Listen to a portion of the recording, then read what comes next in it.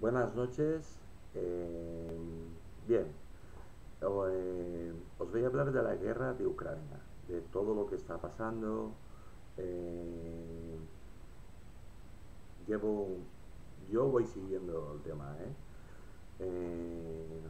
pero he decidido que en vez de hacer pues una nota de cómo está el tema, pues mira, hago un reportaje, ya está.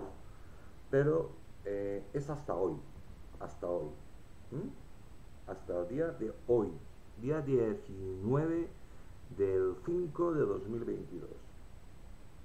Lo último que hay en, novedades. ¿eh? Em, para que no haya ninguna duda, porque hay información un poco desfasada de la semana pasada, incluso podría ser un poquitín más antigua y poco a poco, porque yo voy recabando lo más, lo que yo creo que es más interesante eh, o más importante. Y además, un previo. Quiero agradeceros, de verdad, agradeceros. Gracias, daros las gracias a todos por la cantidad de comentarios. Cada día me hacéis más comentarios. Me alegro muchísimo. Acordaos que yo tengo mucha dificultad para escribir, mucho dolor. Así que eh, cuando, cuando escribo, que escribo muy poquito, eh, escribo mayúsculas para que sepáis que soy yo y no es una máquina. Pero a veces mm, vais a ver que escribo minúsculas. Entonces es cuando utilizo esto, el móvil, donde tengo un programa de dictado. Es decir, que yo te respondo hablándole al móvil y el programa te va respondiendo. ¿Vale? Cosas curiosas. Y entonces está plagado de faltas porque el programa es así. No sé si habrá mejores, me imagino que sí, pero me imagino que eso a un mineral, que te ponen comas, que te ponen de todo, que te ponen puntos, y este no. Este no te pone ni un punto, ni una coma, está lleno de faltas de ortografía, encima te cambia palabras y cosas de estas. Y en eso vais a notar que estoy utilizando el programa de dictado, porque la respuesta entonces ya es, es un discurso. Eh, y eso. Más cosas.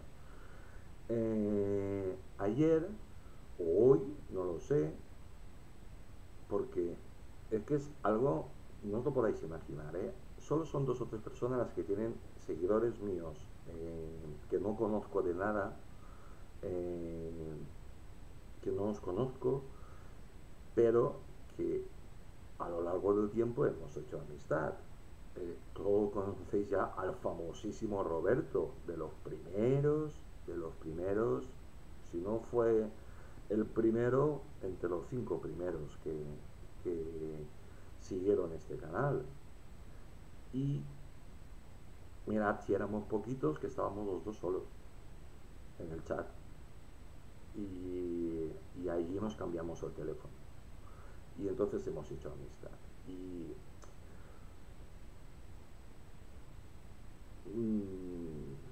nos hablamos por teléfono de vez en cuando, nos, mandamos WhatsApps y cosas de estas. Él hoy, o ayer, no lo sé, creo que ha sido esta mañana, cuando he mirado y he visto que está muy preocupado sobre el tema de la guerra, de la guerra. Eh, bueno, yo le he preguntado, oye, ¿quieres que haga un reportaje sobre eso? ¿Vosotros queréis que haga un reportaje sobre cómo está realmente el asunto? No esto, que estos no dejan de ser recortes de prensa, muy, muy seleccionados, de los cuales yo creo que están muy poco, muy poco o relativamente, bueno, manipulados están todos. Partimos de la base de que manipulados están todos. Pero para mí son los menos manipulados. Los menos manipulados. Otra cosa que os quiero comentar. Eh, yo, como sabéis, este es un canal generalista, se habla de todo. Yo soy muy consciente porque me lo dice YouTube, qué es lo que más os gusta cuando hablo de temas militares. Pero yo ahora estoy volcadísimo en terminar, en terminar no, terminar. Si ayer terminé el primer capítulo, pero si, lo si queréis ver algo, de lo primero que hice fue hablar sobre el programa Iglero. Mirad, sobre el programa Iglero hay gente que se lo cree y hay gente que no se lo cree. Pero yo os puedo asegurar que España fabricó bombas atómicas españolas y tiene bombas atómicas. De hecho, yo mantengo, si os habéis fijado, yo mantengo que nuestros buques de guerra y que en España hay silos eh, atómicos cargados con pero España eso también lo he comentado España no todos hemos visto en películas como es un silo de un misil atómico España no los ha hecho igual somos diferentes somos guerreros. Eh, España los hilos de España son enormes. ¿por qué? porque de ahí te salen varios cacharros varios cacharros te pueden salir uno o te pueden salir todos a la vez está pensado para que te salgan todos a la vez. Va uno directo, que sería una especie de defensa de punto, que se te va a destruir en la zona de donde ha salido, bueno, te va a caer en el silo de donde ha salido el misil que te han mandado. Eh, el otro va a ir a cargarse a la zona esa y va a atacar el país y hay atómicos y los que no van cargados atómicos van cargados con BAMs, pero muy cargados, son los más gordos que tenemos. Hombre, eh, van sobre cohetes Ariane 5. Cohetes Ariane 5. Por lo tanto, tienen capacidad de atacar cualquier país del mundo. Australia, por poner un ejemplo. Nueva Papúa, Guinea Nueva Papúa pues hay gente que se lo cree y hay gente que no se lo cree. Pero cuando termine vais a descubrir un montón de cosas. Y os voy a hacer un spoiler, os voy a adelantar una cosa. Mirad, desde que murió Franco, se sabe con relativa certeza que hay dos personas que lo saben. Uno es Su Majestad el Rey Don Juan Carlos I. Y la otra, eh, Felipe González. ¿Quién lo conoce aparte de ellos? Ah, ¿quién lo sabe? No lo sabe nadie. Lo que cuenta, lo que se cuenta, el run run ese, los comentarios, cosas de estas que hay por ahí, o que había por ahí, era que Suárez también lo sabía. Calvo Sotelo no. A Calvo Sotelo no se lo dijeron. Pues bueno, cuando llegan los presidentes, cuando tú eres nombrado presidente. Felipe González posiblemente se lo dijeron porque al tener la mayoría que tenía, acordaos, echad manos de las hemerotecas y acordaos que Felipe González ganó dos elecciones con votos suficientes para gobernar cinco, cinco veces seguidas. Algo exagerado. Y entonces, pues, Felipe González, cuando tomó posesión, ya ya se había deshecho del traje de pana, ya se había vestido con trajes buenos y cosas de estas, y había tocado dinerito, ya era consciente y la gente que, que está en estas cosas pues sabe si una persona ya si es patriota o no lo es. Y Felipe González era socialista, pero era muy patriota. De hecho, eh, muchos odian a Felipe González. Pero mirad, González, Felipe González, quizás en esa, es porque yo en esa época estaba en, el PSOE y algo, algo sé. No mucho. Yo tampoco estaba en el bolsillo de Felipe González. Yo estaba en Valencia, él estaba en Madrid. Él es andaluz, yo soy valenciano. Es decir, que no... Pero yo sí que conocí a Felipe González personalmente y tuve el honor de hablar con él. Tuve el honor, y digo que tuve el honor como persona y como presidente del gobierno del Reino de España. Como secretario general del Partido Socialista Obrero Español, que entonces sí que era, socialista, sí que era obrero y sí que era español. Porque yo recuerdo que sobre todo en Valencia, que es lo que yo conozco, tú entrabas en el despacho del secretario general, que era el presidente de la Generalidad Valenciana, que era Joan Lerma, y allí había una bandera de España como la copa de un pino. Pero es que entrabas en el despacho del secretario general, del secretario de organización del partido, Antonio Casto, en Gloria esté, muy amigo mío, eh, me enseñó muchísimo, muchísimo, muchísimo.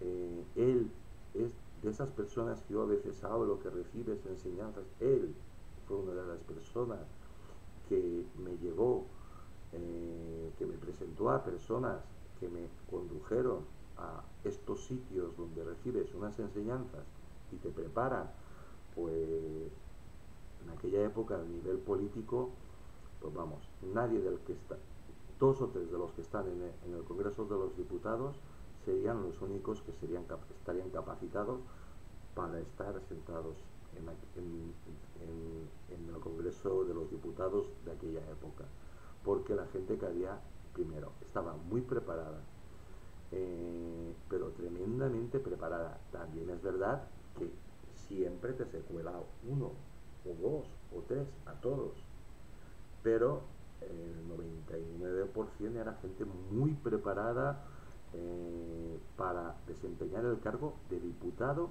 de, las Cortes Españolas. ¿eh? Muy preparada. Pues a mí empezaron a prepararme para eso.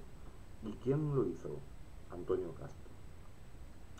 Pues cuando descubrieron quién, no lo sé, porque no se sabe quién son eh, porque ese es el secreto más secreto que tiene España, o lo más confidencial que tiene España. No hay otra cosa más secreta que esa. Más secreta que esa, el proyecto Islero.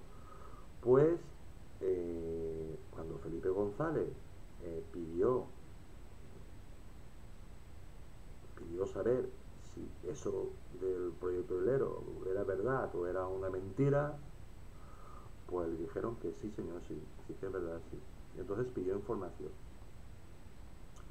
Y Felipe González, pues es de las pocas personas que están en vida junto con su majestad el rey, don Juan Carlos I, pues de las pocas personas que se sepa, que saben todo lo relacionado al proyecto islero.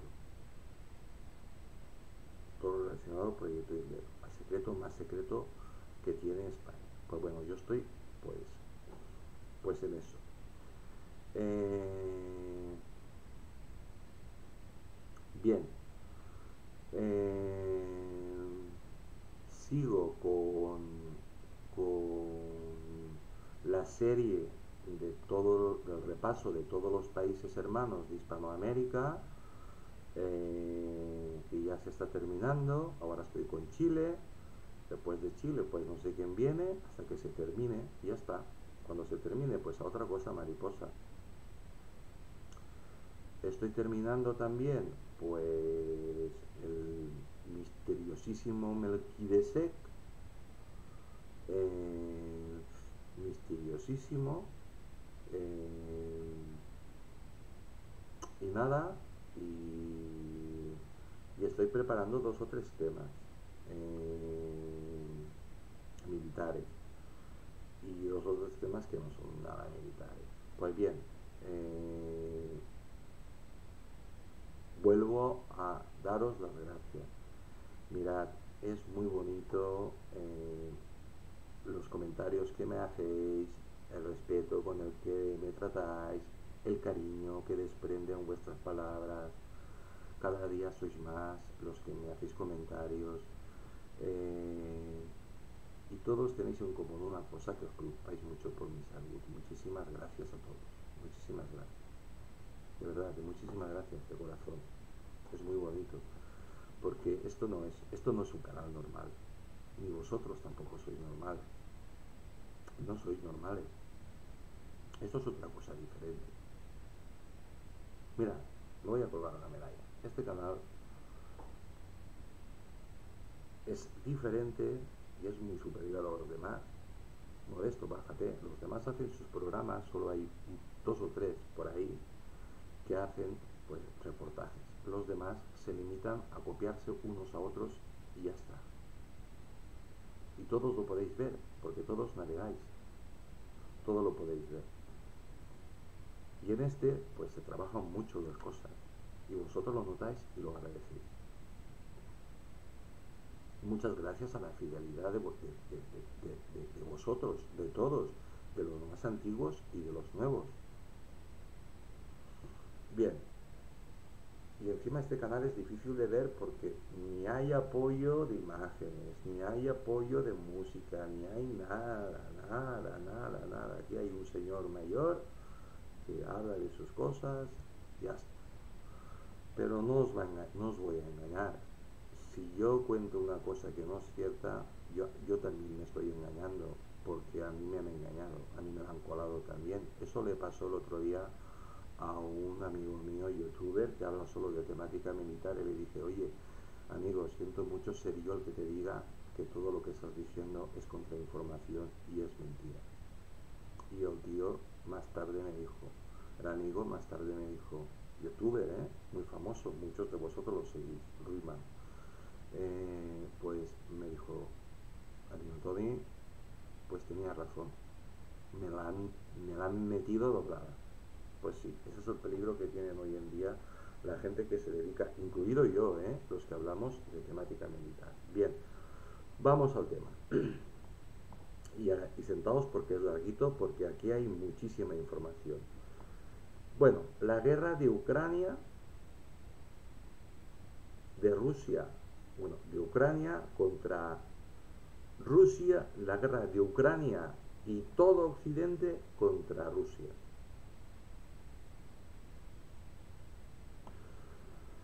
Nota, como vosotros sabéis, yo creo que el que tiene la razón, creo no, el que tiene la razón es Rusia. Muchas personas, muchas personas se están dando cuenta de que si a Rusia, Estados Unidos, no la hubiera acosado de la manera tan feroz que la acosó durante unos 15 años, desde bajo la tierra, es decir, por bajo el agua, por encima del agua, por tierra, por aire, por el espacio. Si no le hubieran colocado un montón de misiles apuntando a Rusia, si no hubieran desplegado fuerzas especiales, 8.000 soldados que se sepa, especiales, preparados especiales para atacar el Donbass junto con mercenarios norteamericanos. El Donbass que el 100% de la población es rusa. Hasta que Rusia dijo, hasta aquí hemos llegado. ¿Vosotros qué hubierais hecho? Pues exactamente lo mismo. Pues ahora, pues eso es lo que estamos sembrando. Pero pronto vamos a recoger. Bien, mirad, ayer recogió España 25 diplomáticos fuera. España no es Rusia. España no tiene tantos diplomáticos. Pues a los que expulsaron fueron a los que realmente han estudiado diplomacia y son diplomáticos. Porque el embajador está puesto a dedo. A dedo por Maripili. Por lo tanto es un inútil integral. Él no tiene idea. A él se lo dicen pues los diplomáticos. Pero ¿qué pasó en España? En España algún genio, y oye, qué casualidad, el genio del PP, decidió prejubilar a todos los a todos los los funcionarios de carrera de toda la vida. Vamos, a los que realmente saben del oficio. Coño, no, déjalos que enseñen, déjalos que preparen a la próxima jornada, a las próximas jornadas, pues no. Aquí hay que jubilarlos. Pues lo mismo hicieron pues con los constructores de barcos. Los prejubilaron a todos. Navantia, lo que ahora es Navantia, pues tuvo tremendo problema, porque tuvo que formar uno a uno a todos los nuevos personas que están trabajando y siguen formando porque necesitan un montón de mano de obras altamente especializada. Pero esos lo tenían. Y resulta que te encuentras con personas con 55 años en sus casas aburridos como ostras. Y os diré más, trabajando de extranjeros. ¿A que sí? ¿A que todo el mundo conocéis a gente así? ¿Verdad que sí? Pues bueno, así funciona Españistán. Vamos al tema. Ya, ya no me enrollo más. La guerra. La inteligencia británica ve posible que las tropas rusas detenidas en el noroeste estén moralmente debilitadas. Esto, amigos, se llama desinformación y contrainformación.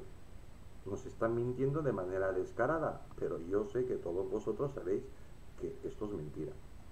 Si Estados Unidos y la OTAN realmente están interesados en resolver la crisis ucraniana, lo primero que deben hacer es despertar y dejar de enviar armas y municiones al régimen de Kiev.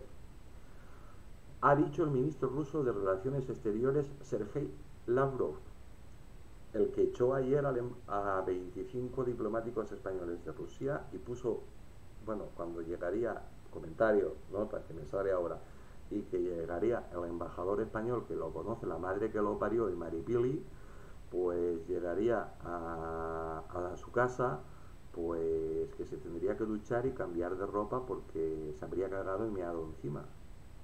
Porque Lajarov es un señor tremendamente educado.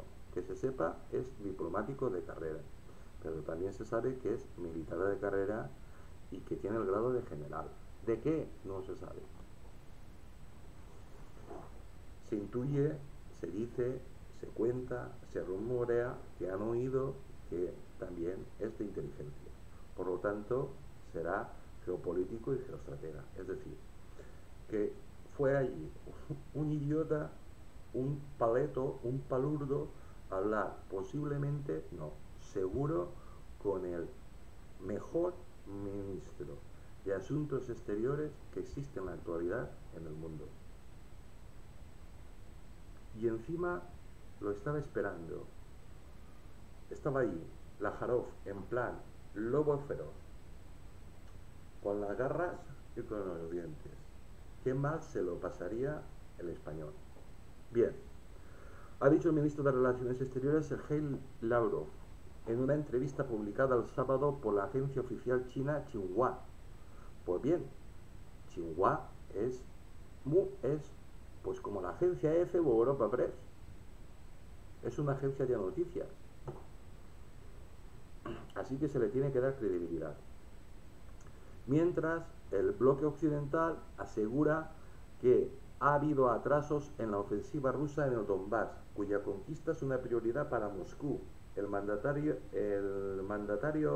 ruso afirma que la operación militar especial que inició el 24 de febrero se está reyando en estricta conformidad con el plan. Se cierran comillas. Nota. Bien, Rusia, todo lo que planificó, ahí se ha ido cumpliendo religiosamente. Te cuenten los ingleses, te cuenten este, te cuenten los otros, la milonga que os quieran cantar todo lo que programaron desde que con sus misiles hipersónicos destruyeron todas las defensas y mirad que tenía lanzamisiles por todos sitios. Mirad si, si van rápidos que no les dio tiempo ni a decir oralmente fuego ni a apretar un botón. Ya los habían destruido.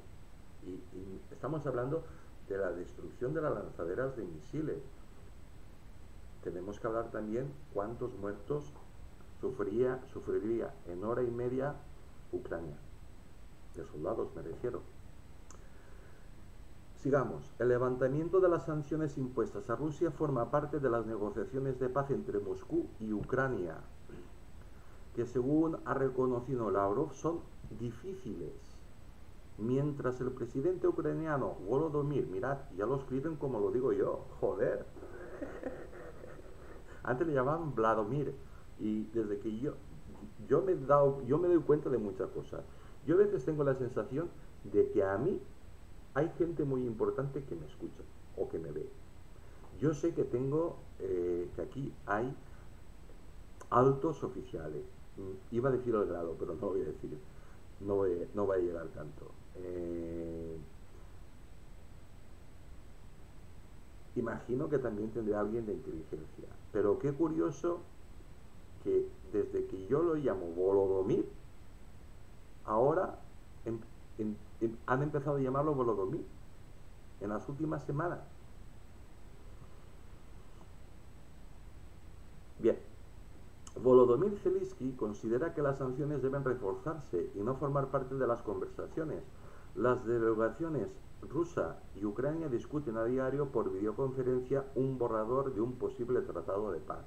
Nota, voy a hacer muchas notas y muchos comentarios, ya os aviso. Por eso he dicho que os aceptarais. Eh, por supuesto que hablan todos los días. Por supuesto, mirad,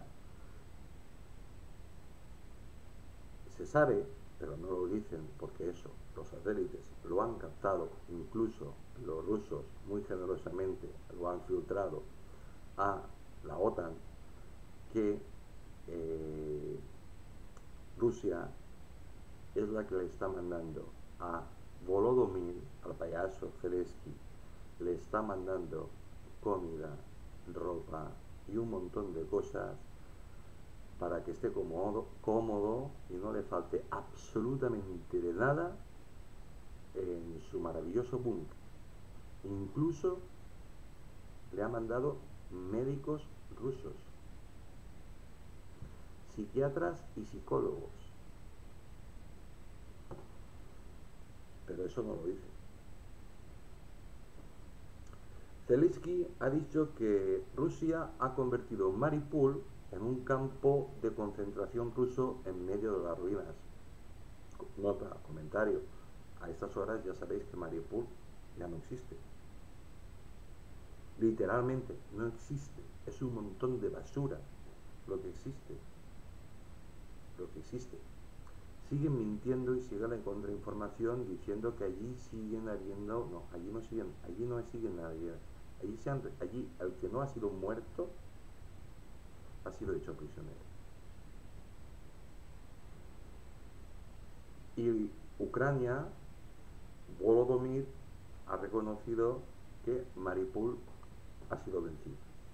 Ha sido, se ha rendido, ha sido vencida y hasta en manos totalmente de los rusos.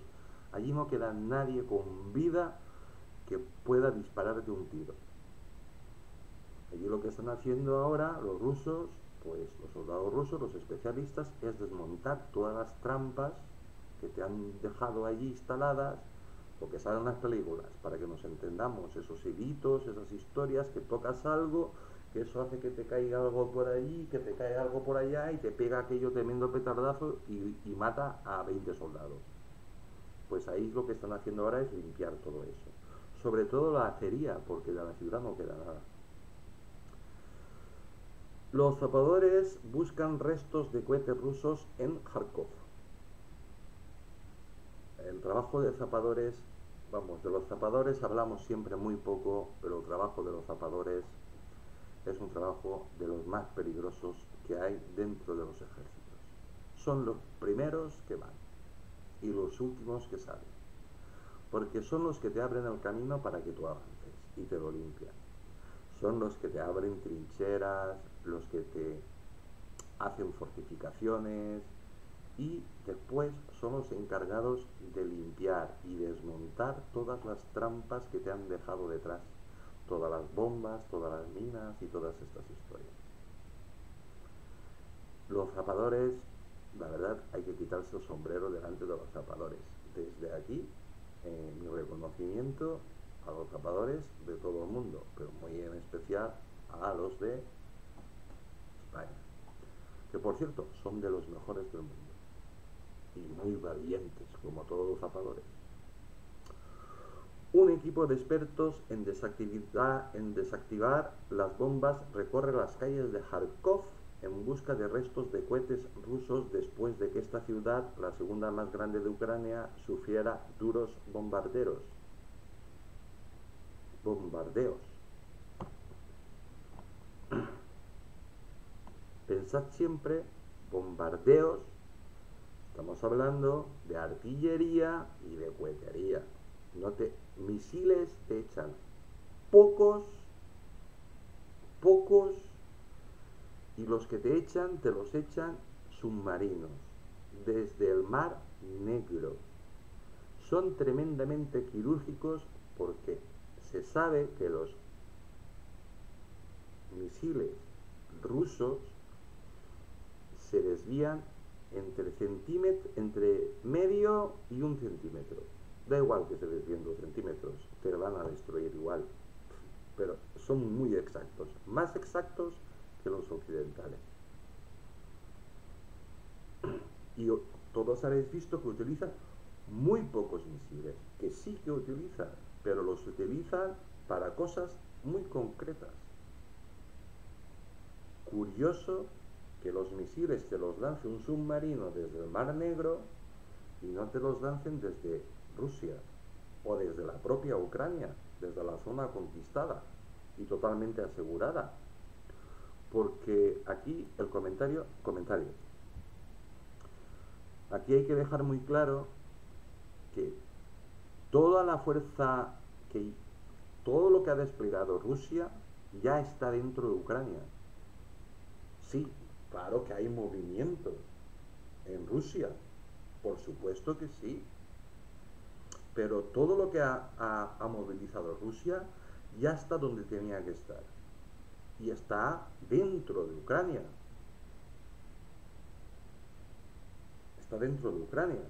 Eso no lo dicen. Están dentro de Ucrania. Y os voy a decir más. Tienen, hay, en la actualidad hay 11 ejércitos. Y están todos. Imaginaos el mapa. Bien, Ucrania, Moldavia, Polonia. Bien, vale. Pues los 11 ejércitos en Moldavia están a unos 5 kilómetros, pues detrás de una loma para que la gente no lo vea. Por eso los moldavos, que son cuatro y el, del gato, han salido la mayoría de la población escapados, pero, pero corriendo a toda prisa, largándose de ahí. Y en Polonia y en el resto de la frontera, pues están entre 25 y 30 kilómetros. Lejos de la vista de que te puedan ver. Están, eh, acordaos, es estepa, pero hay, hay ondulaciones, están que tú no lo puedes ver pues allí están ellos cómodamente instalados, los ejércitos, estamos hablando, se calcula, por lo poco que se sabe, que cada ejército pues tiene entre 150.000 y 200.000 hombres. Pues esos son los que van a invadir Europa.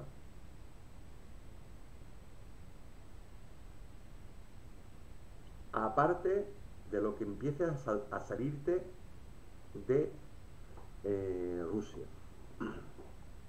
De lo que empieza a salirte de Rusia. Bien, vamos allá. Sigamos. La ciudad ubicada a una decena de kilómetros de la frontera rusa sufrió daños importantes en los primeros días de la invasión lanzada por el presidente ruso Vladimir Putin. Putin lo ordena. Putin no, no, no va, no va. Putin no va. Putin es el presidente de la Federación Rusa, él no, no, no, él no va, él no va en un caballo blanco delante, no, no, él no va, él lo ordena. Y no lo ordena al soldado, se lo ordena a general y jefe de los ejércitos rusos, a lo que sería el gemato ruso. Y él es el que lo ordena, eso se llama cadena de mandos. Aunque Kiev logró retener, el, como veis, nos la intentan meter en todo momento, ¿eh? hay que ir con muchísimo cuidado aunque Kiev logró retener el control de la ciudad, aún sufre ataques a diario y los expertos en desactivar bombas son llamados sin cesar para retirar restos de artefactos rusos. Artefactos rusos, estamos hablando, pues que como están utilizando, pues eh, eh, bombas, obuses, cohetería muy antigua, están vaciando los polvorines y al mismo tiempo los están llenando con munición del siglo XXI, la mayoría de ella inteligente, por no decir toda inteligente. Los están vaciando trastos súper viejos de la Guerra Fría y por eso muchos fallan y las calles, pues a lo mejor si tiras 10, pues 8 te acierta, 8 explotan y 2 fallan.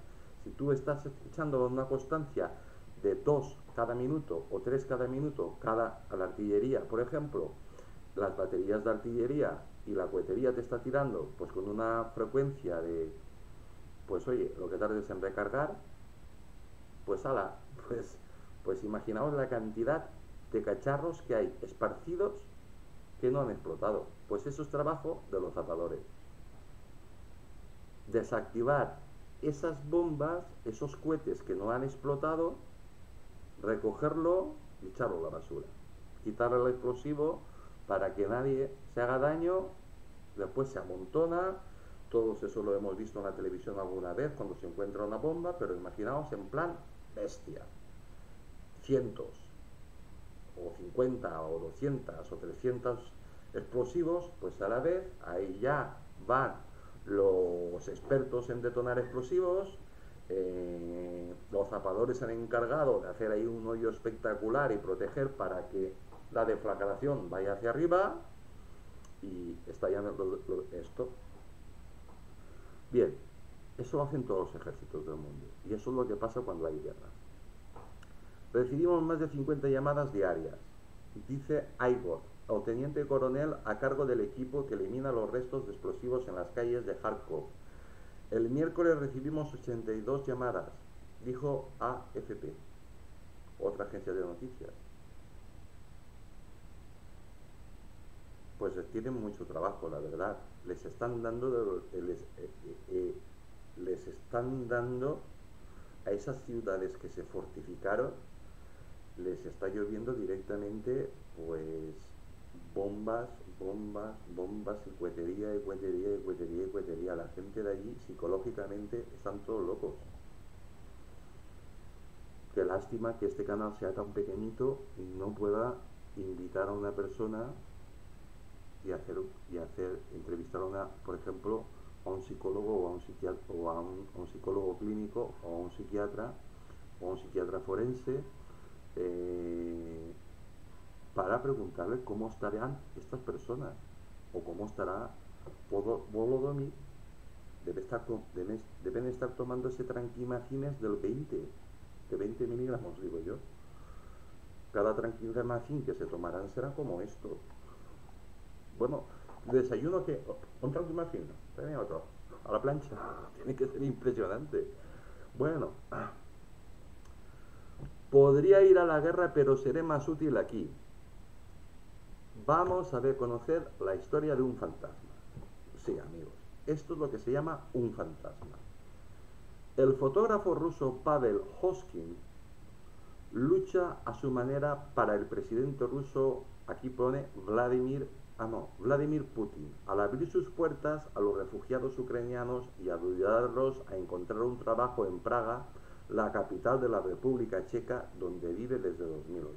Me parece muy bien por el fotógrafo Pavel Hoskin. Pero Pavel Hoskin de tonto no tiene nada. Es verdad, está ayudando a refugiados ucranianos.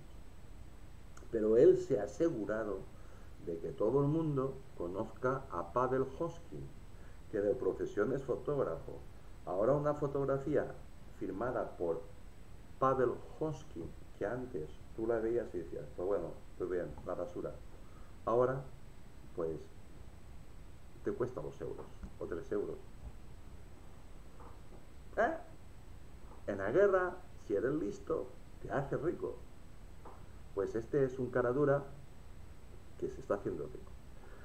Y con la ayuda de algunos amigos, el hombre de 48 transformó una antigua tienda vietnamita que se iba, que iba a ser destruida, que va a ser destruida, o los vietnamitas se habían largado y tú dices, oye, pues mira, como estos se han ido y son vietnamitas, les da igual estar aquí que en otra parte del mundo y estos seguro que ya no van a volver aquí, pues amplio mi tienda y amplio mi, mi chiringuito que iba a ser destruida en una casa de, de, acogida. Actualmente el lugar situado en el norte de la capital checa acoge a 16 ucranianos, pero hay espacio para unos 10 más. Y tranquilos, comentarios, no os preocupéis. Eh, y va a tener todo el tendría todo el espacio que le daría la gana porque toda la gente que se ha ido, él va a ocupar sus casas. Es un ocupa y es un cara dura. Sé tomar fotos, autopromoción, y podría ir a la guerra, pero seré más útil aquí. Se cierran comillas. Explica Hoskin a esta agencia, a la agencia AFP de noticias. Sé tomar fotos, está haciendo publicidad de él. Y podría ir a la guerra, coño, si puedes ir a la guerra y eres tan valiente, ¿por qué no coges un fusil y te vas a la guerra? A luchar contra tus compatriotas rusos. Contra, he dicho mi contra. Mientras el presidente ruso Vladimir Putin siga en lucha, yo responderé así. Esa, esta es mi guerra. Continúa su teléfono móvil eh, no, mientras su teléfono móvil no para de sonar. Pues bien, esto, ¿por qué os lo cuento? Para, para que veáis que en las guerras hay gente como esta, unos sinvergüenzas, que se hacen de oro. Este desgraciado, eh, que no es nadie, es un fotógrafo de chicha y nabo, igual ni es fotógrafo. Fijaos lo que os digo. Igual ni es fotógrafo igual ha matado o se ha encontrado a un tío muerto en la calle con una cámara de fotografiar semiprofesional o profesional, le ha cogido, se, lo ha, tincado, se lo ha llevado y inmediatamente, oye, una agencia de publicidad, si tú no la llamas, tienes que tener muchísima suerte de encontrarte con ellos. Pero mira, en ese momento en todos los periódicos y en todas las televisiones salió.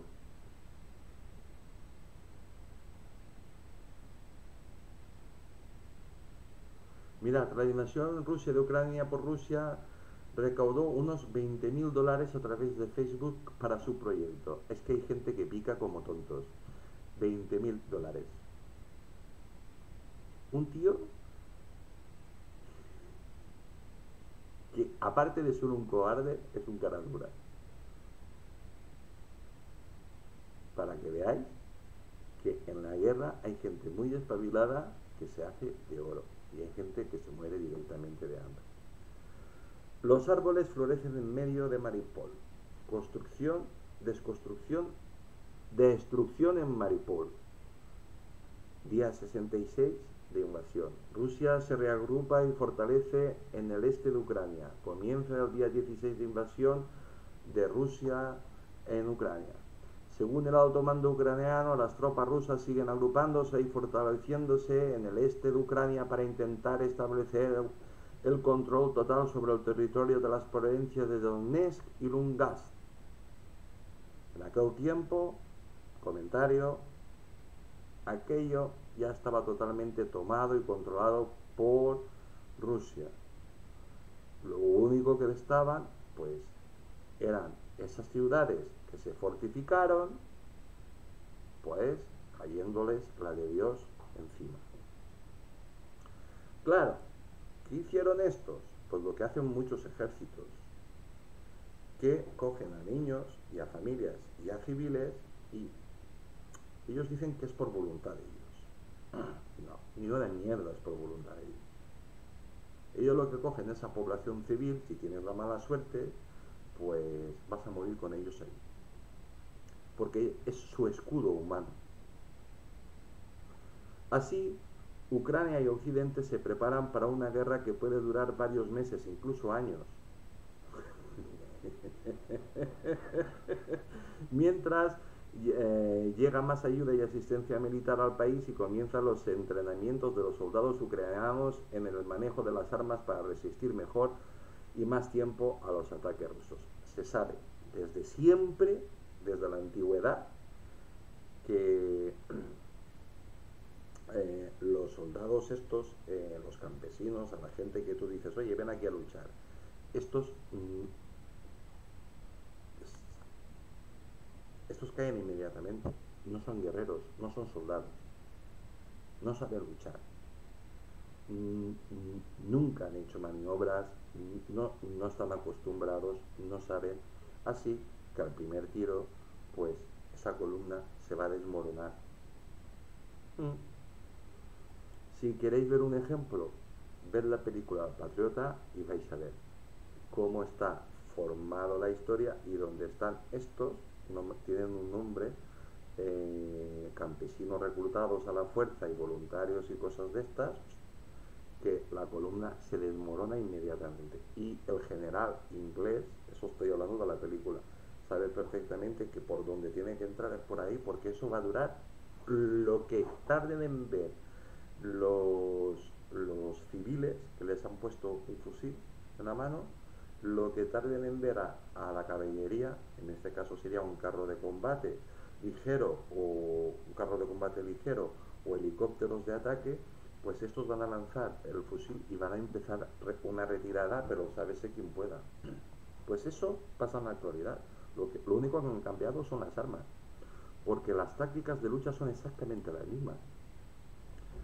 Fin del comentario y adelante. El presidente ucraniano Volodymyr Zelensky ha acusado a Rusia de querer destruir y desestabilizar el Donbass y destruir Mariupol. Bueno, Mariupol ya sabéis que no existe que ha pasado de ser una región desarrollada a ser ahora un campo de, concentración ruso en medio de la ruina.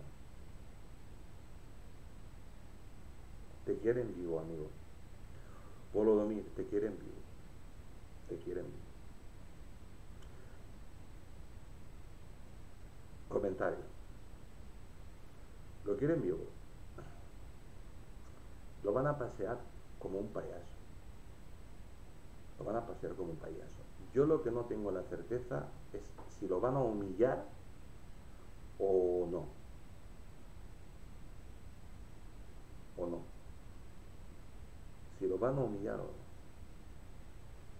Pero que nos vamos a hartar de ver a Volodymyr Zelensky cuando el señor Vladimir Putin decida dar la orden de decir, tráedmelo ante mí y se lo traigan ante él, este sí que se, va, se va a cagar y literalmente llamear encima cuando vea el Kremlin, lo bajen del coche y lo entre. Porque Vladimir Putin sabe un montón y lo va a recibir como lo que es, como un rebelde que ha traicionado a su país, que es Rusia. lo van a pasear por todas partes, por todas partes, por toda Rusia, por toda Rusia. Y lo van a hacer hablar. Y va a hablar lo que le digan los servicios de, inteligencia de rusos.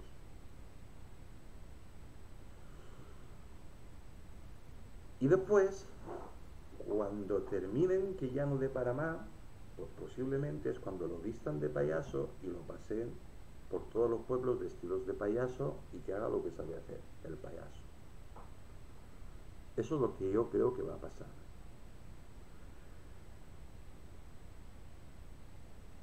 Y no creo que vayan a tener piedad de él, ni de su familia. Cuando lo hayan exprimido al máximo que no tengan nada más que sacarle, trabajos forzados en Siberia, en una cárcel durísima, él y toda su familia, hasta que se muera. Y se van a morir muy pronto, porque se van a preocupar de que se muera, de que sufra muchísimo para morir.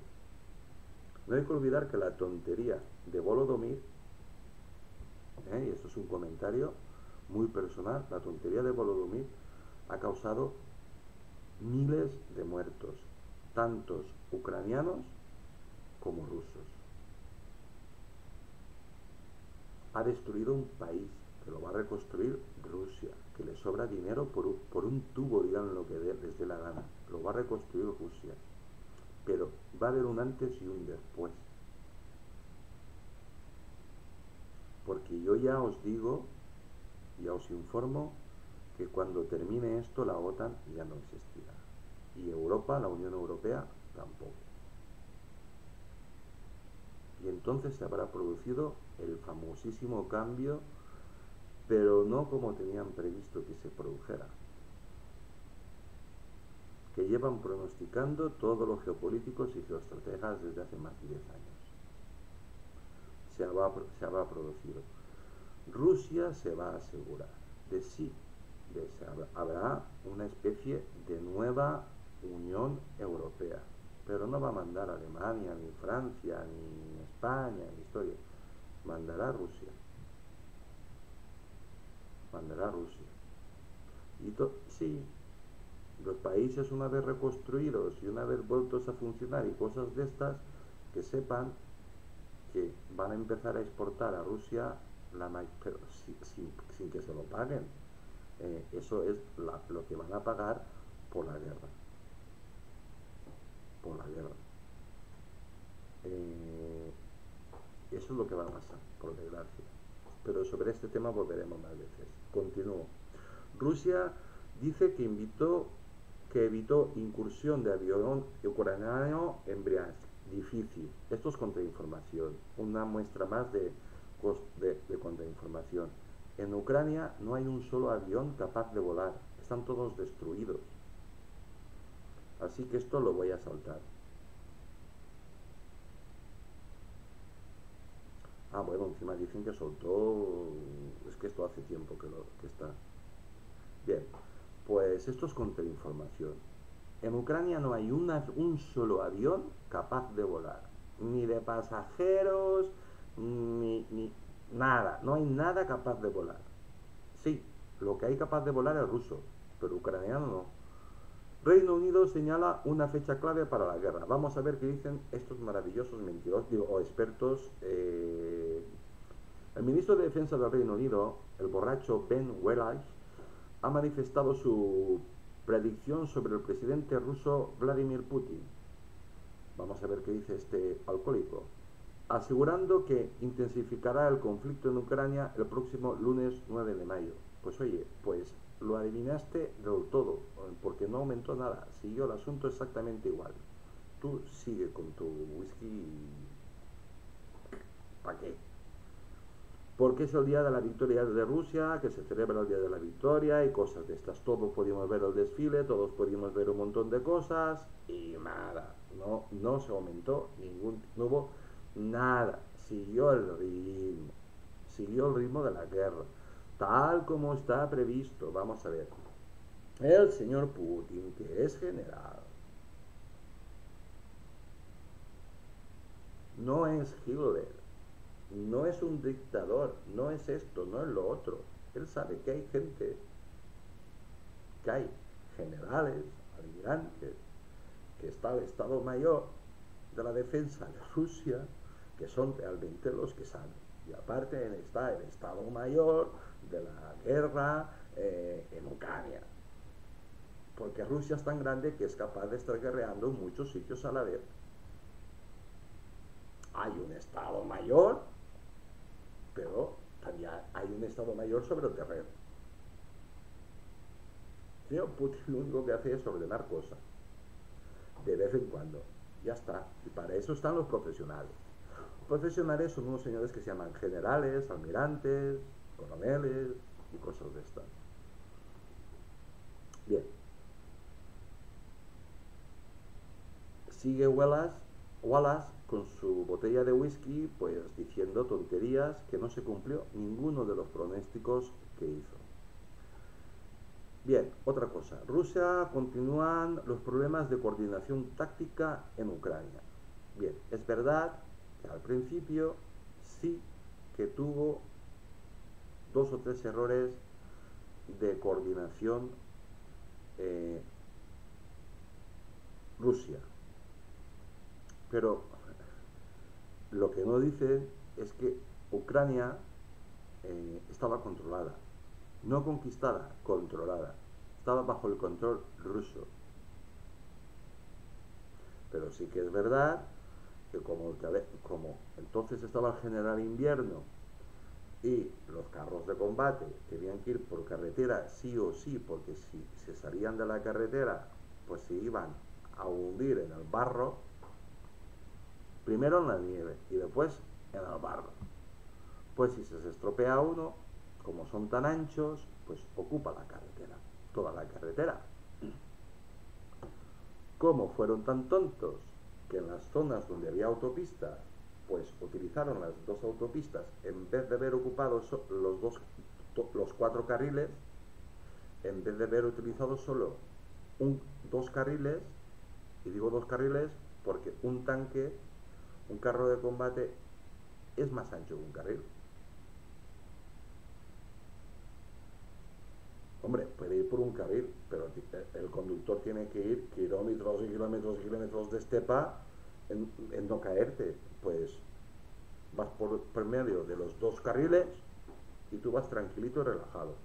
Y los otros dos carriles, pues los dejas despejados para en caso de que haya algún problema, ese carro de combate se pasa al otro carril y ahí te va a llegar la ayuda y la columna sigue avanzando. Ese fue el error que tuvieron. Un error de estudiantes. Un error de estudiantes. De estudiantes, pero todo el mundo cometemos errores. El parte de inteligencia del Reino Unido afirma que Rusia todavía sigue teniendo problemas de coordinación táctica en Ucrania y su apoyo aéreo se realiza de manera inconsciente. ¿Qué, apoyo aéreo? Pero si no han mandado ni un avión, han mandado tres o cuatro aviones para que vean los, los ucranianos sobre todo eh, que están ahí aún porque quieren los rusos. Y lo que ha hecho este avión ha sido otras cosas. Esos aviones lo que han hecho cuando se han acercado a la frontera, que es donde vosotros los habéis visto, es, ha sido fotografiar absolutamente con sumo detalle todo lo que tenéis puesto eh, delante, en la vanguardia, más vanguardia de las posiciones de la OTAN. Y lo siguen haciendo, lo siguen haciendo. Drones todos los días tenéis por ahí. ¿Para qué sí? de vez en cuando pues pasa un avión. Pero el avión es un aviso muy claro. ¿Qué están haciendo los aviones y los drones? Pues marcando exactamente las coordenadas donde tenéis puestas vuestras lanzadoras de misiles. Esto, aquello, lo otro, lo otro, lo otro, lo otro, que teóricamente es lo, que tiene, lo primero que tiene que parar a la vanguardia rusa cuando ataque que os va a atacar, os va a atacar y lo sabéis. Y lo vais cambiando de sitio. Por eso cada día os pasa varias veces drones y de vez en cuando un avión para recordaros de que os están controlando. Por lo tanto, se prevé que Rusia rectifique los problemas que con anterioridad han frenado su invasión al concentrar. Bueno, esto está desfasado, así que lo voy a, pasar. A pasar. Vamos al amigo Macron. Macron Putin le ha pedido a Macron, porque Macron está, Macron, Macron es un prepotente de muchísima vida. Se casó con una abuela que tiene 20 años más que su maestra de la escuela.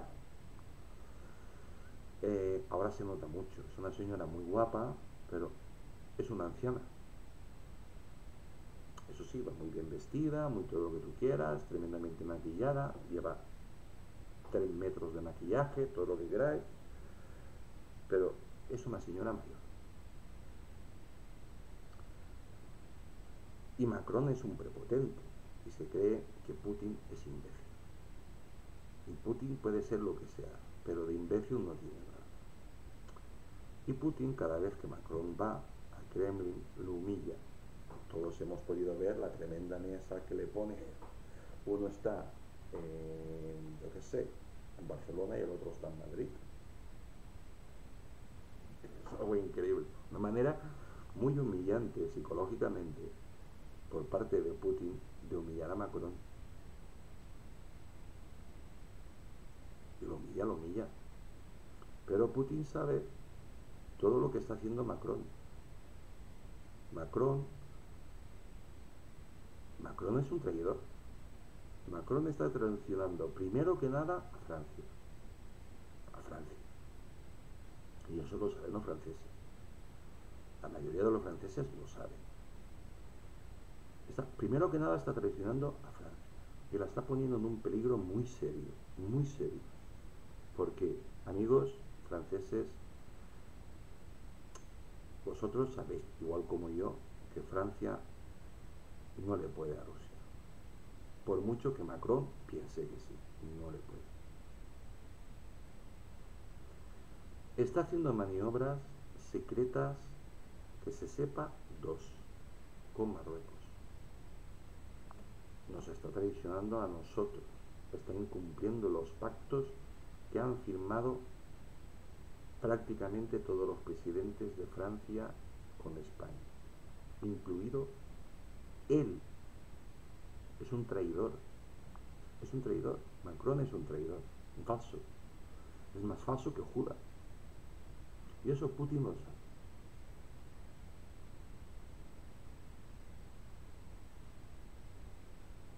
De España no se fía ni Dios por la mierda de gobierno que tenemos y por Maripil. De Francia tampoco se fía nadie por Macron. Porque Macron te dice qué guapo eres ahora, se da te da la espalda, habla con el otro y dice, ¿has visto tú lo feo que es este, hijo de puta? Pues eso es Macron. Vladimir Putin ha pedido este martes, bueno, pidió a Manuel Macron que Occidente deje de enviar armas a Ucrania. Se lo está diciendo a Macron, el presidente de la República Francesa, que es aliado tradicional, histórico de Rusia.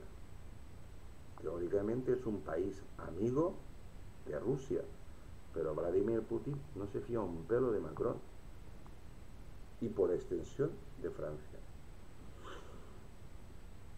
Occidente podría ayudar a parar las atrocidades ejerciendo la influencia apropiada sobre las autoridades eh, de Kiev, así como interrumpiendo el suministro de armas a Ucrania. Ha dicho el líder ruso a su interlocutor durante una conversación telefónica, según un comunicado del Kremlin.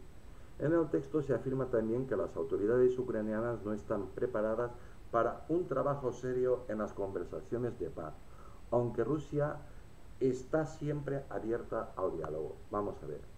Ya, en esa época, a unas semanas, eh, pues eh, Putin ya tenía muy claro que Volodymyr aquí no pinta nada. Y lo que le está diciendo a, a Macron, con toda claridad, que dejen de mandar armas. Con toda claridad se lo están diciendo. ¿Alguien se imagina, alguien de vosotros se imagina que, que los rusos son tan imbéciles, tan tontos, que no saben exactamente por dónde entran las armas? Sí, es verdad. Ucrania es inmensamente grande. Pero vosotros sabéis la capacidad tecnológica que tiene Rusia, la cantidad de drones que hay permanentemente en el aire, sobre todo en, algunas zonas en concreto, eh, la cantidad de satélites que tiene. Y aparte, que a ti te ponen un satélite en tiempo real, tú aterrizas aquí, descargas, cargas, empiezas a descargar en los camiones y ese satélite te va a seguir toda la ruta. El 99% de los envíos que está haciendo Occidente de armas a Ucrania va a parar a manos rusas.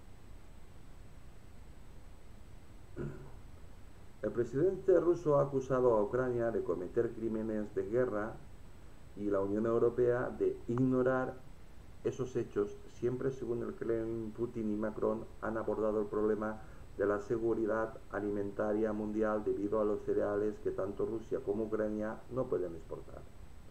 El presidente ruso ha reconocido que la situación es complicada, sobre todo por las sanciones que se han impuesto a su país. ¿Qué está pasando en el mundo? Pues que hay escasez, escasez de grano y de un montón de cosas. ¿Quién produce eso? Ucrania y Rusia, ¿vosotros no queréis sanciones? A las sanciones.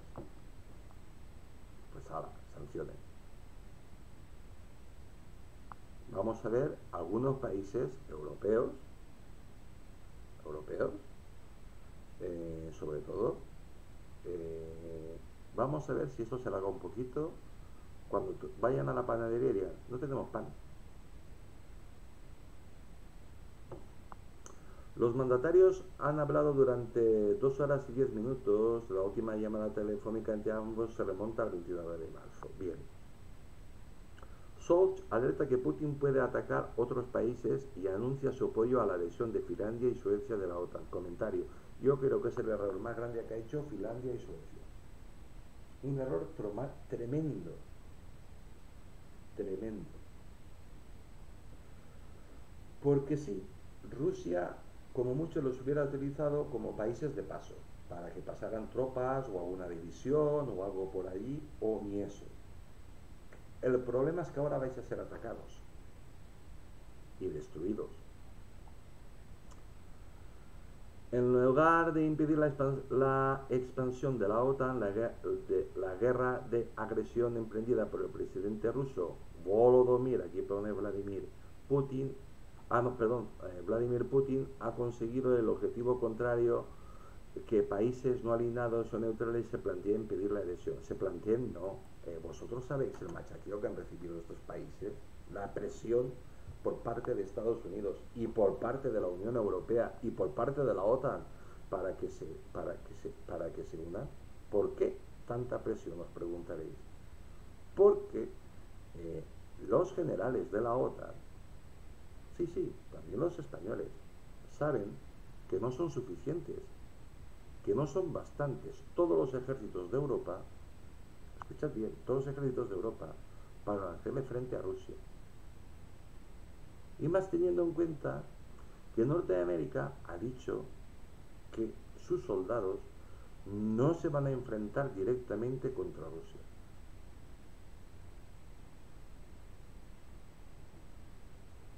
Pues más idiotas no podemos ser.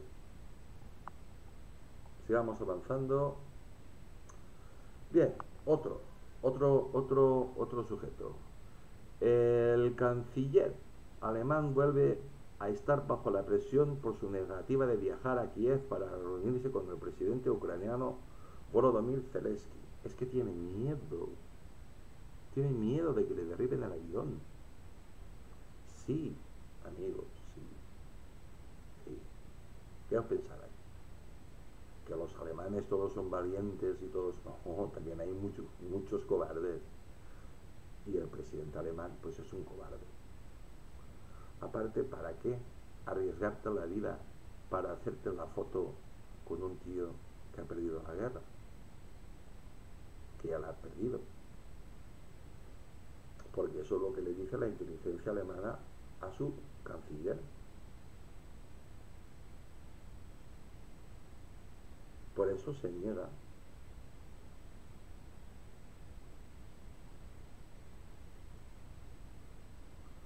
Pues el presidente alemán, Frank Walter Steinmeier, socialdemócrata, eh, pues ha rechazado pues viajar ni a Rusia ni a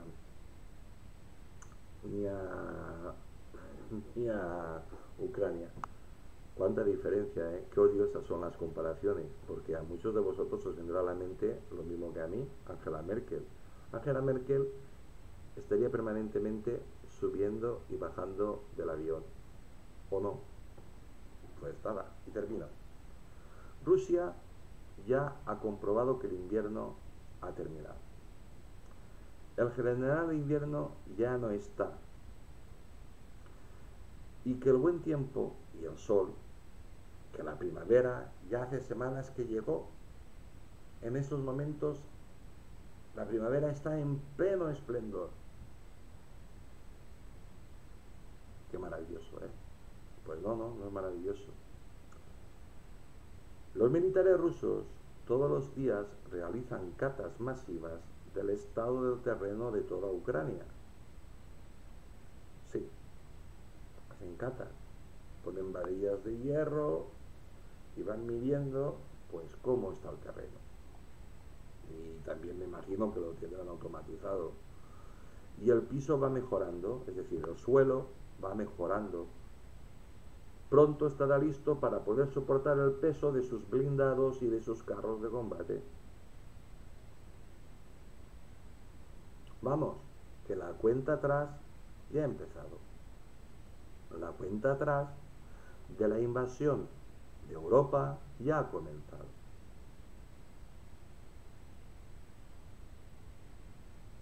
Y esto es una, cosa que me está saliendo en estos momentos. Y por eso eh, están cayendo ya, ya ha caído una. Una ciudad de las que estaba amurallada, que se estaban entreteniendo allí porque tienen que mantener a las tropas de ocupación que no son las mismas, no os olvidéis, no son las mismas, estas tropas de ocupación son las que van a controlar Ucrania. Esas ya han hecho su trabajo. Esas son las que van a controlar Ucrania. Y a los posibles focos de resistencia que haya. Y ahí sí que van a ser pragmáticos. Mira que la resistencia está ya. ¡Pum! Pepino. Todos muertos mandas una bomba que tenga un radio de acción de 50 kilómetros y allí no queda ni un conejo vivo. Van a, ser, van a ser así de prácticos. Y se le va a terminar la tontería a cualquier ucraniano que quiera hacerse el, idiota. Bien. Los más modernos, los carros más modernos, están llegando a sus puntos. Y ya Occidente y algunos periodistas y algunos youtubers, incluso a los militares, eh, incluso militares, están tomando conciencia de lo que este humilde canal, vuestro canal, viene avisando desde el primer día que Rusia es mucha Rusia. Los pocos satélites que Rusia ha dejado operativos, sí, porque Rusia en el espacio hay un recado impresionante, porque hay satélites que se abren, que salen otros satélites, que esos satélites están diseñados para engancharse a tu satélite espía o al que sea, en este caso espía, ellos sabes cuáles son y dónde están situados, te cogen, se acoplan a ti maniobran, una vez te tienen enfocados al espacio profundo, ese satélite que te ha salido, ¡pam! enciende los motores, pone toda la caña que puede, toda la, toda la fuerza que puede a sus motores, y tú, que lo has detectado desde tierra, le estás ordenando a tu satélite, que no deja de ser un satélite espía, que haga maniobras para situarse donde tú quieras. Pero este satélite está diseñado para eso, para engancharte. Vamos a ver, esto es tu satélite, ¿vale? Mi mano es el satélite que te va a enganchar. Te engancha y este satélite que es mi mano está diseñado para que tiene muchísima más fuerza que tu satélite y tus motores, que tiene el material justito, la fuerza justita para mantenerte en el sitio pues este satélite hace la maniobra y dice, a tomar por culo, al espacio profundo. Y te han dejado dos o tres. Bueno, sigo leyendo. Los pocos satélites que ha dejado operativos Rusia, eh, los pocos satélites que Rusia ha dejado operativos que cruzan por el espacio ruso y pueden espiar a Rusia, las fotografías y las grabaciones que están enviando aumentan la preocupación ¿La preocupación de quién? De Occidente. Porque muchos, no en todos los aeropuertos militares se pueden ver cientos de aviones, todos superiores a los que posee Occidente. Caramba. no me beso porque no llego, de verdad. Caramba. No será porque este humilde, humilde, humildísimo youtuber no lo dijo desde el primer momento. Nota.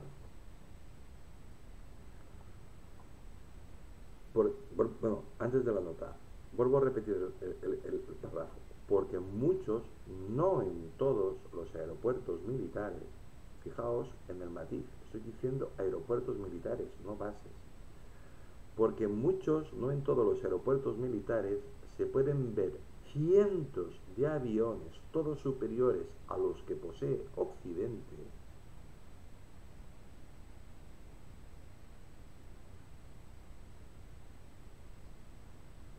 joder, es como estar viendo una película. Se están preparando para la invasión. ¿Para la invasión de qué? De Europa. Pero no decían que no tenían aviones. Pues bien, nota. Curiosamente, en las bases, ahora sí que digo bases, no digo aeropuertos. Curiosamente, en las bases de la aviación rusa no hay ni un avión en las pistas. Por lo tanto, podemos deducir que Rusia solo muestra lo que quiere que veamos. Bien amigos, bien amigos, esto es lo último que se conoce sin que esté manipulado.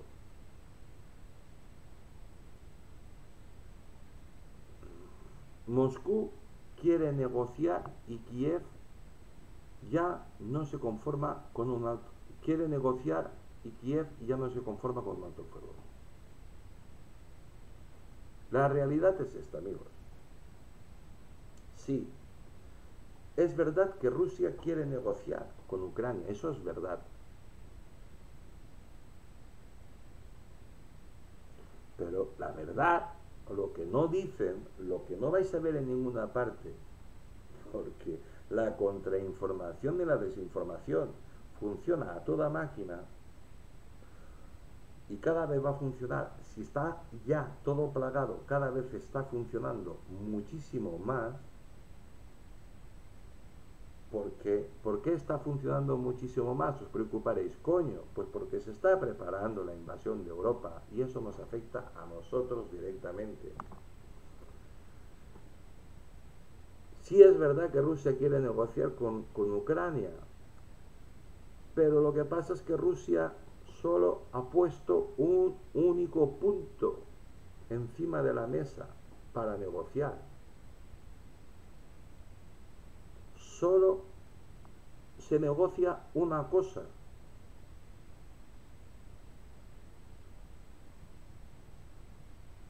Solo Rusia está dispuesta a hablar sobre una cosa, negociar sobre una cosa. Porque Rusia exige la rendición incondicional de Ucrania y la integración de Ucrania en Rusia. ¿Qué? ¿Qué? Pues esto es la realidad, amigos.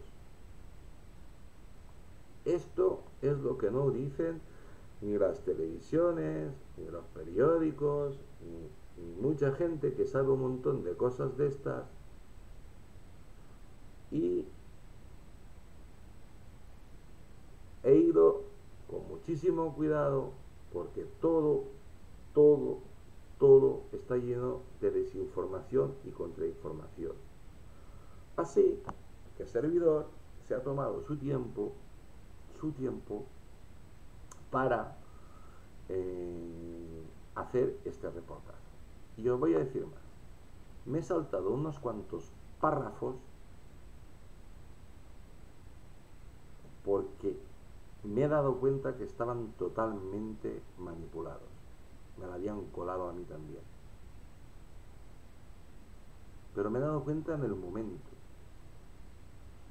Esa es la ventaja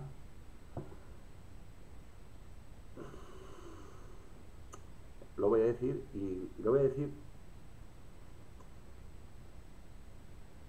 lo voy a decir para, para las personas que no saben.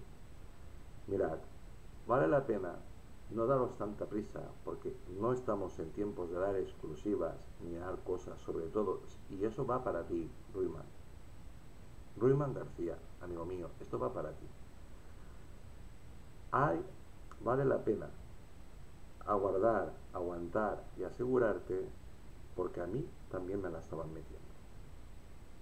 Así que hay un método muy seguro para hacer información incluso de temática militar. pues decirlo una semana o dos después.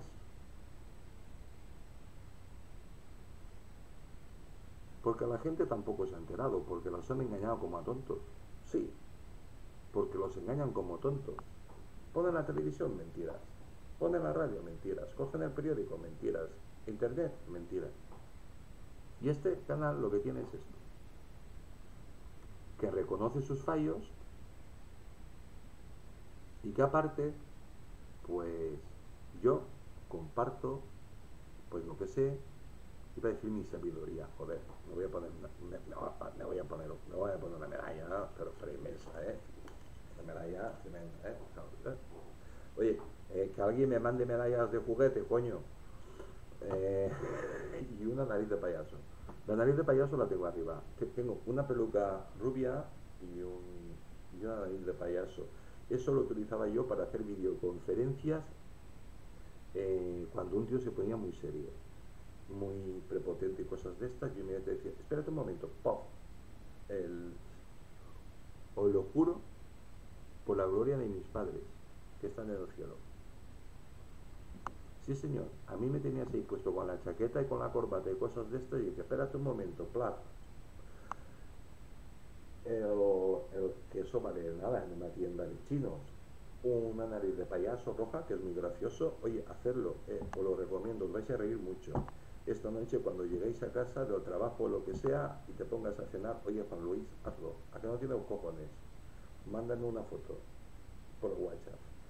Eh, pásate por una tienda de chinos, cuesta nada, te pones con nariz de payaso, es de espuma, es una tontería. Y esta noche cuando te pongas a hablar con tu mujer seriamente o a decirle buenas noches o lo que sea, ¡pof! te pones la nariz, te pones en el bolsillo eh, la nariz de payaso y te ponen la nariz. Tienes un polvo asegurado, seguro. bueno, en fin, José Luis, Juan Luis es un suscriptor que nos intercambiamos el teléfono y que hemos empezado una, una amistad, pero está desaparecido, es que es una persona ocupada. Bien, espero que, me, que tú me patrocines esto, porque el polvo que vas a echar esta noche y yo te he ayudado mucho. Bien, como esto es para mayores, pues no pasa nada. Bien, en realidad, la realidad es esta. Sí es verdad que, que Rusia quiere negociar con Ucrania. Y Ucrania se muere de ganas de negociar con Rusia. Pero este es el único punto que tiene el payaso en su mesa. Solo Rusia le ha puesto una cosa para negociar.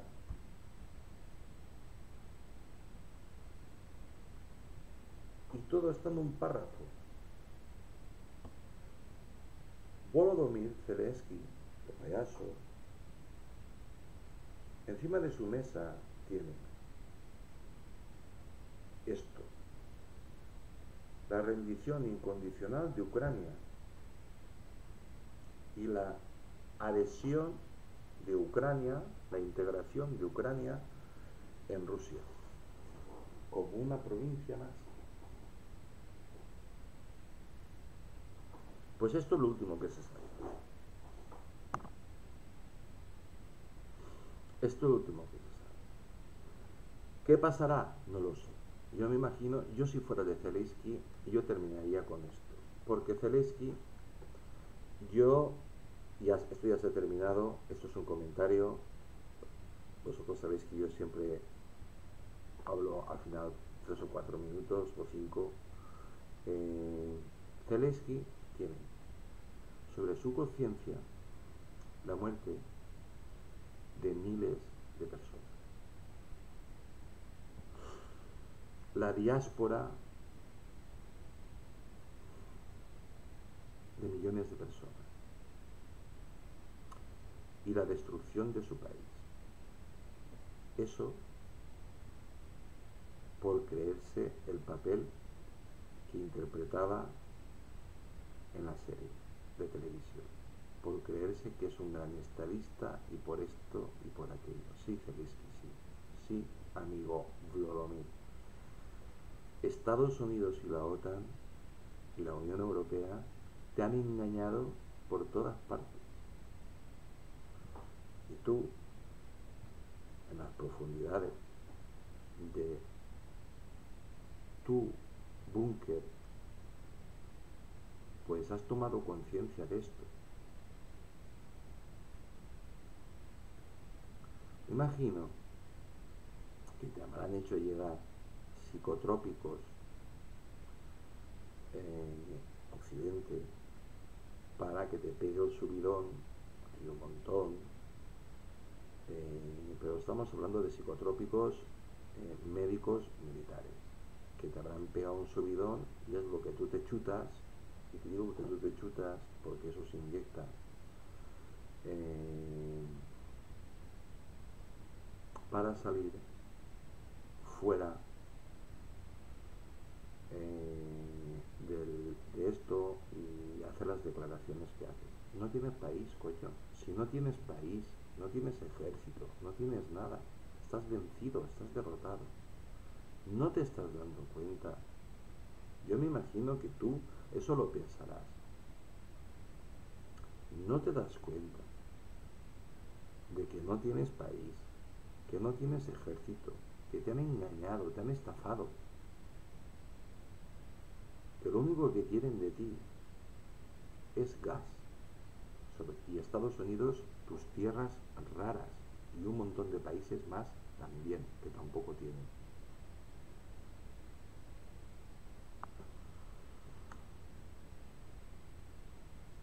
Me imagino que para dormir, pues imagino que tendrás médicos, me imagino que te chutarán, te chutarán te inyectarán tremendo calmante, tremendo relajante y tremendo somnífero.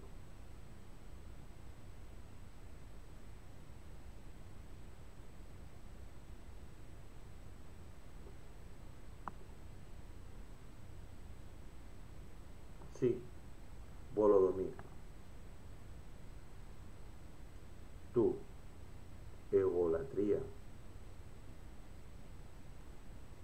tu incompetencia, tu ignorancia, tu prepotencia. Sí, tú eres el responsable de la destrucción de tu país.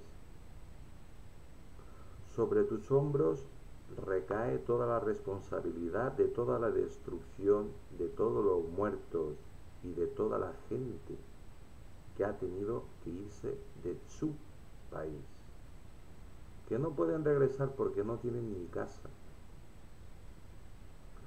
que Ucrania nunca volverá a ser lo mismo. Ucrania se va a convertir en grandes campos, que ya lo son, va a tener dos ciudades habitadas por rusos y ucranianos muy adeptos. El ucraniano va a desaparecer, se va a hablar pues en algunos países de Europa, en algunos guetos, pero en Ucrania no, se hablará el ruso y aquello estará plagado de las bases militares y de defensas rusas. Ucrania se va a convertir, el destino que le espera a Ucrania se va a convertir en dos o tres ciudades turísticas, en dos o tres parques turísticos. Todo van a ser campos. Te van a expoliar toda la riqueza que tengas, tanto minera como, como de petróleo de gas o lo que sea, y todos vais a trabajar en régimen de semisclavitud para la madre Rusia.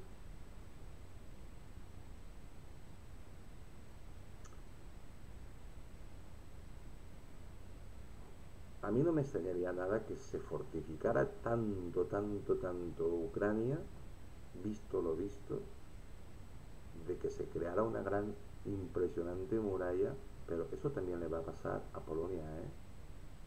Polonia también va a desaparecer, y Lituania, y Estonia, todos estos países van a desaparecer.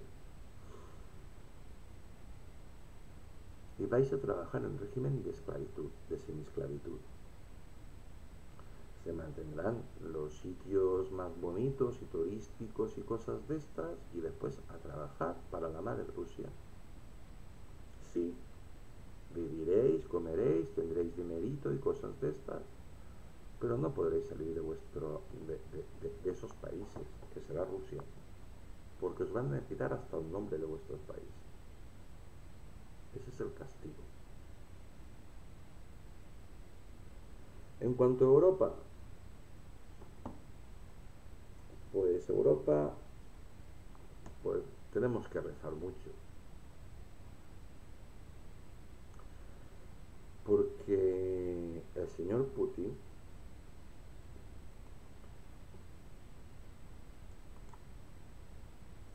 va a poner las cosas en su sitio, va a poner mucho orden, muchísimo orden.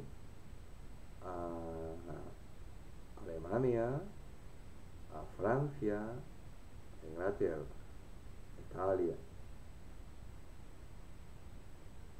en menor medida España, porque el señor Putin sabe perfectamente de que aquí, aquí tenemos a Maripili, que es el que está promoviendo todo esto que los españoles estamos totalmente en contra.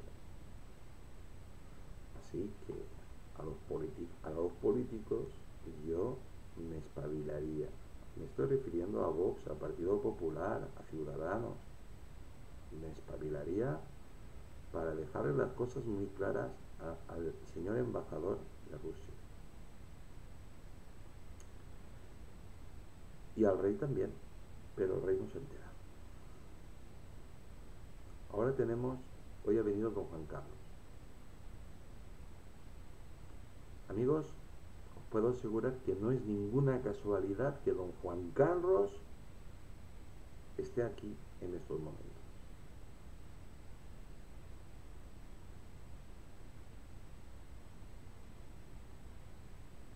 Os puedo asegurar, escuchad, ¿eh? que don Juan Carlos I no está aquí para hacer una regata. La va a hacer, sí. Va a asistir a la regata, va a hacer esto, va a hacer lo otro. Pero haceros una pregunta. A mí me, sabéis que me gusta dejaros preguntas. Su Majestad el Rey Felipe VI está haciendo algo.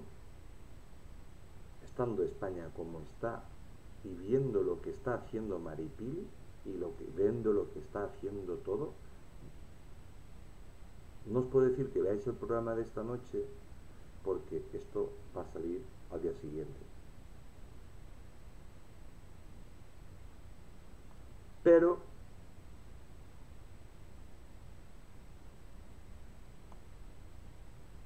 quizás su Majestad el Rey Don Juan Carlos I, al que todas las televisiones llaman el emérito en plan muy despectivo, no, es Su Majestad. Un rey es rey hasta que se muere, como los papas. Pues bien, quizás ha venido a poner orden. Pues amigos, eso, estas cosas se saben muy pronto. Muy pronto. Si ha venido a poner orden, que yo creo que sí, antes de lo igual, cuando salga esto, ya ha empezado la movida. Bueno amigos, pues soy Tony Garcés, os mando un abrazo muy grande desde Valencia, España. Os deseo a todos que tengáis mucha salud y esas son las novedades sobre la guerra.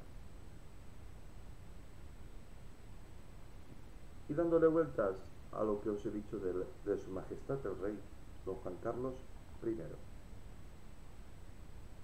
Don Juan Carlos I. ¿Qué carajo está pasando aquí para que la reina Sofía, doña Sofía, que no quería saber nada, que no me quería venir, ha venido?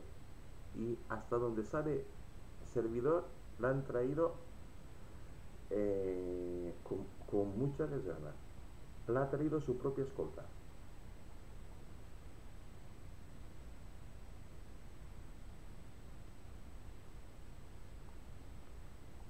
Los ronrones que hay por ahí es que parece que la, princesa también va a estar en España.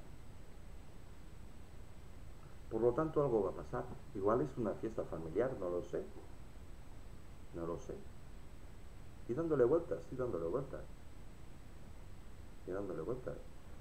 Pero, os dejo otra pregunta. ¿Vosotros creéis que España puede seguir como está? Pues quizás ha llegado un momento ya en que esto se acabe. Pues bueno amigos, ojalá sea así, cada cosa lo que sea. Bueno, pues ya me he despedido. Que Dios os bendiga. Hasta mañana. Eh, mañana que no lo sé. Ya veremos. Un abrazo muy grande a todos. Hasta mañana.